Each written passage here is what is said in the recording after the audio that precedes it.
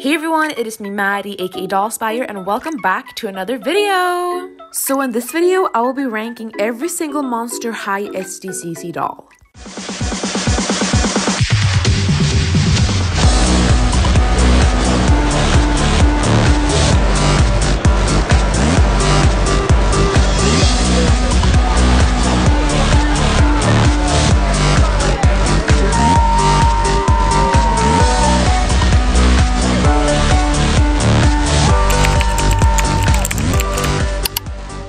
Number 11, Ghostbusters Frankie Stein. This was the last ever SDCC Monster High doll that was released before G3 was announced. This doll was a part of the G2 reboot, so that's why she's obviously the lowest on my list, because personally, I hate the G2 reboot. This doll just felt so lackluster to me, and she wasn't even that detailed, so it didn't feel like a Comic Con doll.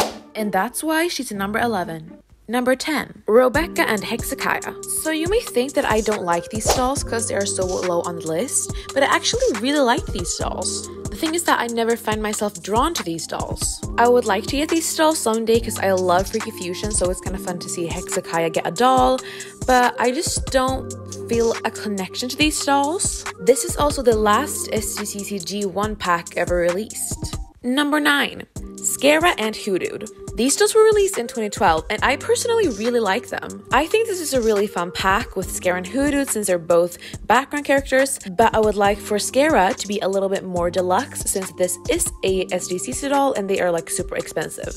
Do you guys remember the Fang Vote program that was released with Rochelle and it came out during 2023?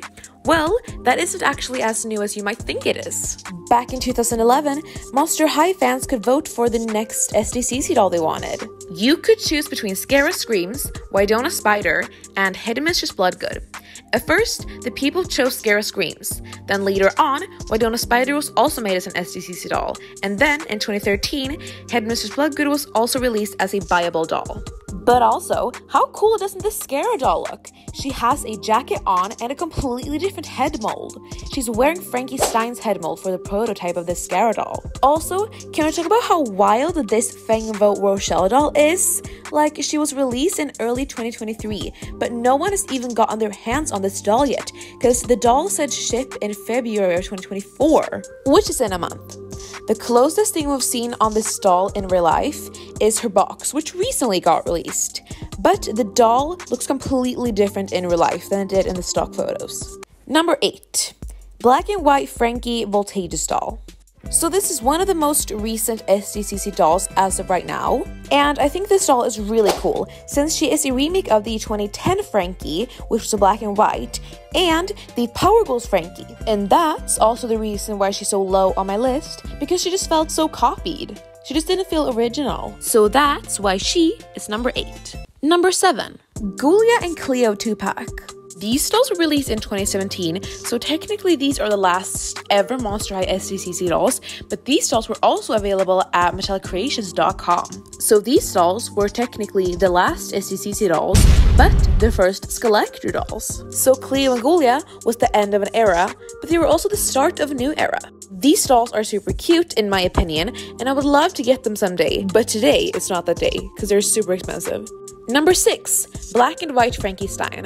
Now, this doll is a classic, and I love her so much. Though the reason that she's so far down on the list is because she's just a recolored version of the basic doll. Like, I love her and she's iconic, but I don't think she's that creative. Don't hate me. Number 5, Comic Con Ghoulia. Now, this doll is fabulous, and I love her so much, and I would love to get her one day. It's just that I do prefer other dolls over her. I would so get her if she was like $200 on eBay.